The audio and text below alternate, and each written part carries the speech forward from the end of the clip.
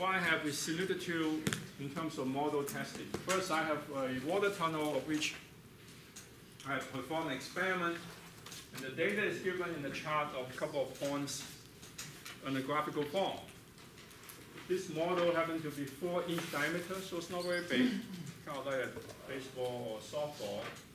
One in water at different speed. I have different drag.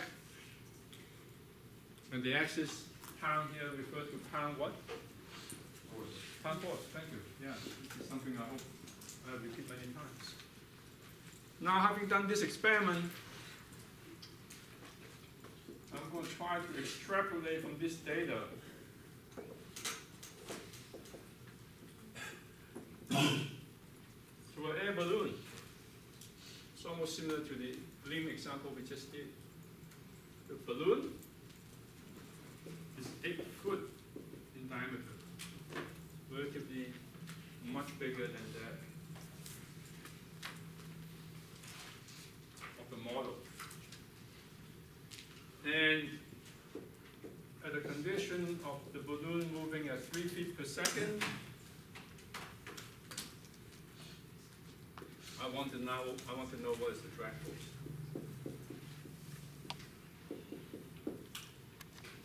Can you do it?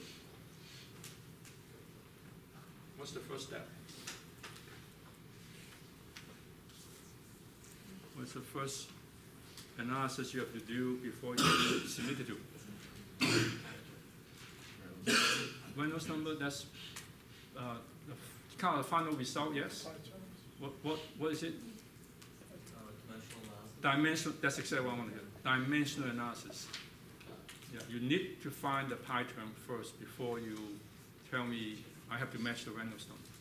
But the more important concept is I have to dimensionally analyze the problem. First, starting with deciding from your intuition what are the variables that will dictate this problem, which we know because you have seen it once, same as the airport.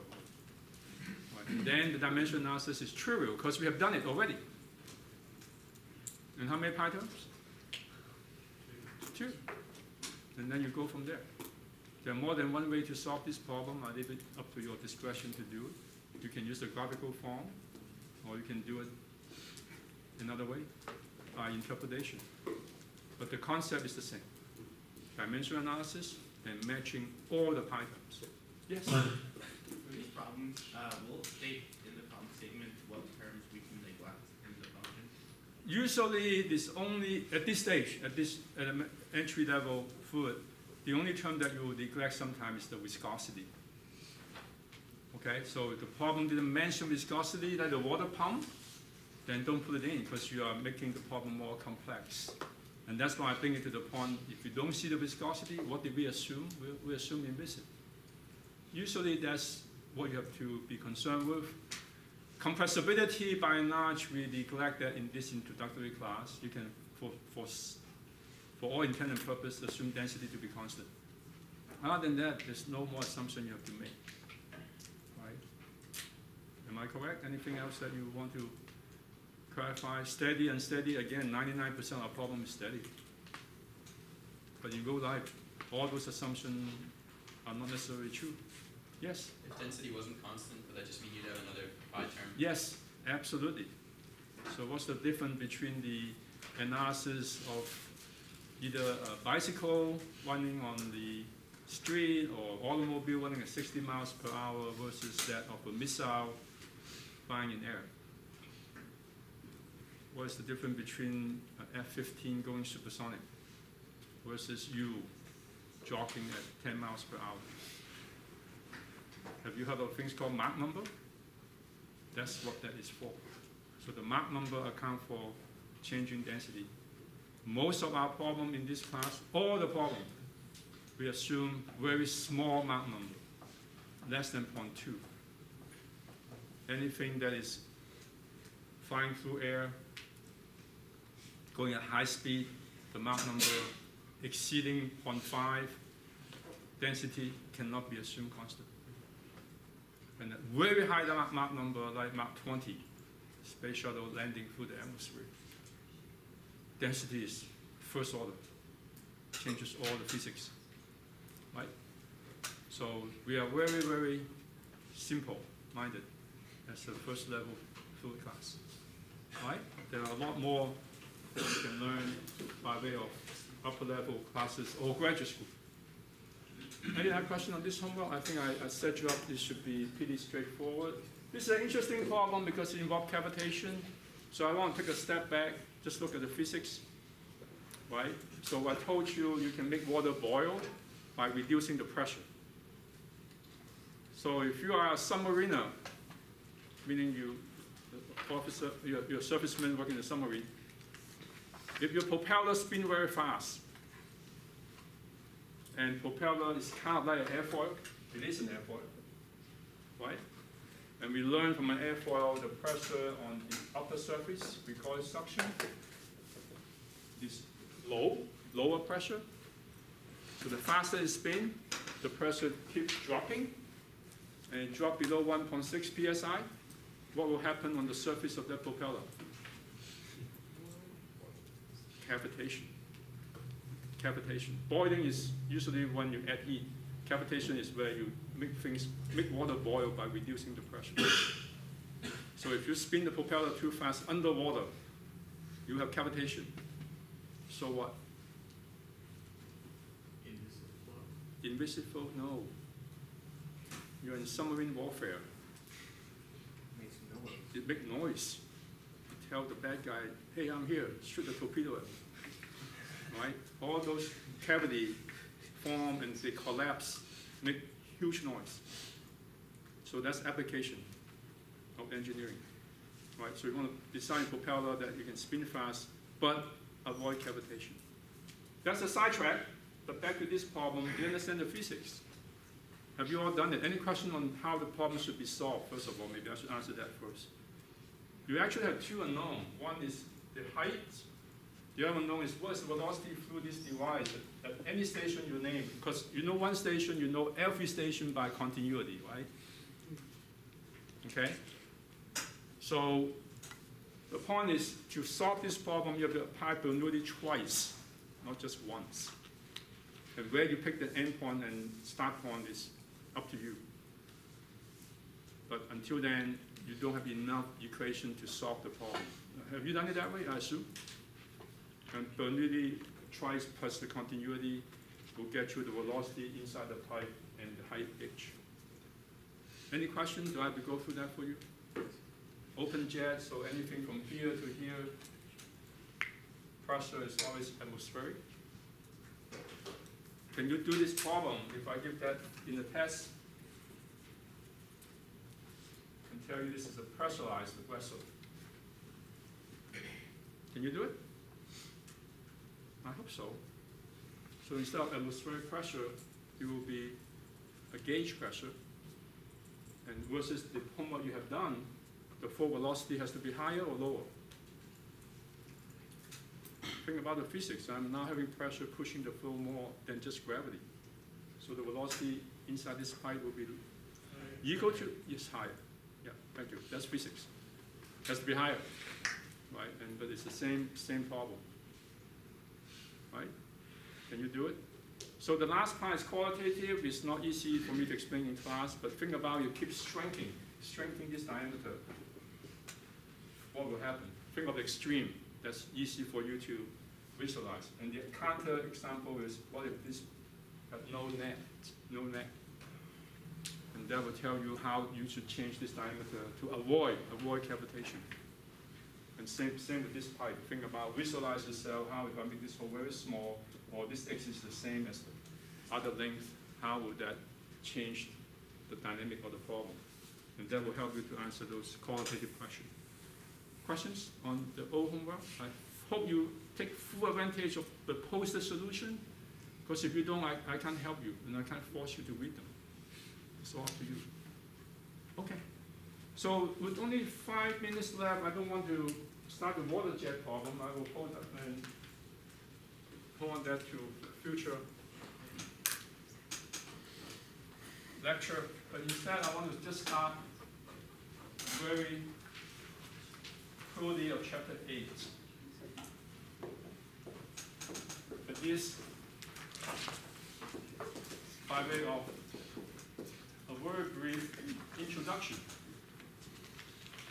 So if you look at the road map that I draw you way back a couple of lectures ago,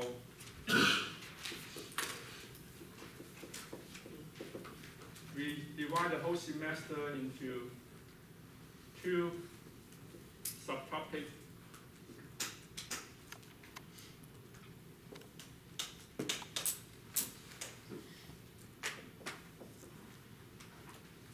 The first set of that is how we analyze a fluid problem, and we talk about control volume. This is a nozzle of which I'm trying to determine the forces.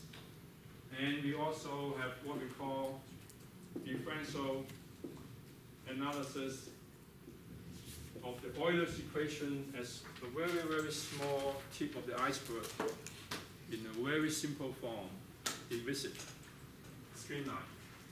And we're now done with experimentation,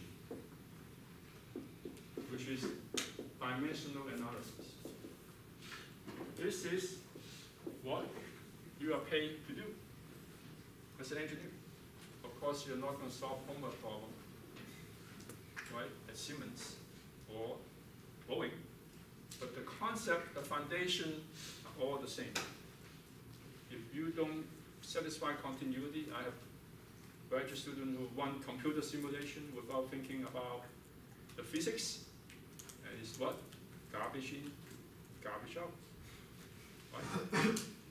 So all this is a tool that you need to do good engineering analysis. Right? So we are pretty much done with it, but we'll come back for the remaining second half of the semester, is look at more in-depth differential analysis. The other roadmap is we separate the flow into different categories, starting with the simplest for most the entire semester incompressible. And then inviscid.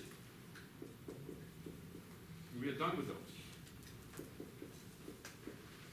They are simple, but they are not physical. No fluid in the world is inviscid. You always have to account with viscosity. So why do you use Bernoulli? Well, I can get to the answer within 10% accuracy. And for most problems, that may be enough but not all. So we are now tackling the other ten percent of the problem, that what make people pay you a decent salary on. So we've done the inviscid, and now we are moving forward to, for the rest of the semester, how to deal with risk-based effect. How do I account for viscosity? And under what assumption, despite it's not realistic, I can pretend the flow to be frictionless. And with the viscous flow, it's further subdivided into external and internal.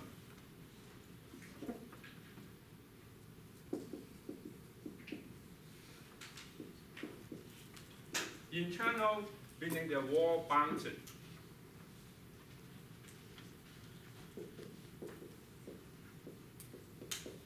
What does that mean? classic example is the flow the pressure of the wall will influence the flow. An academic study, which we will do at the very end of the semester, between two parallel plates.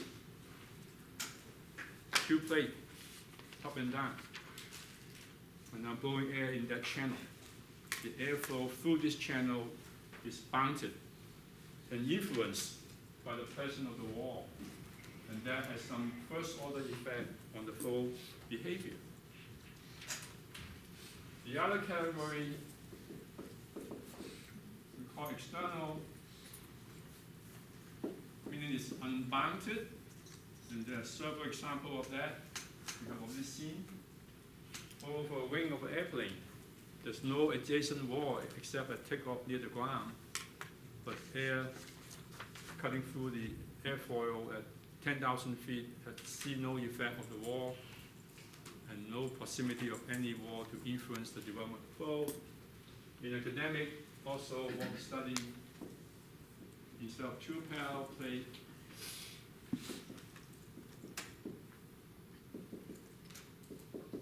it's just one single plate. And the flow going from left to right, I want to see how the flow develop on this plate. And it's not bounded by the wall on the other side, but the presence of the wall will have an influence on how the fluid behaves. So we are right here.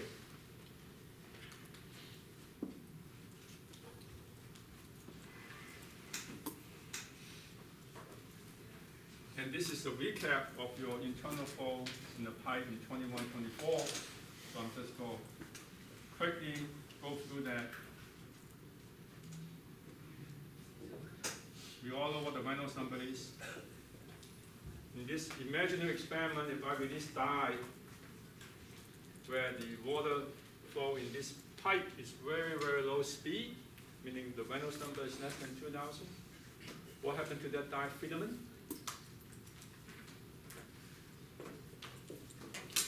No good?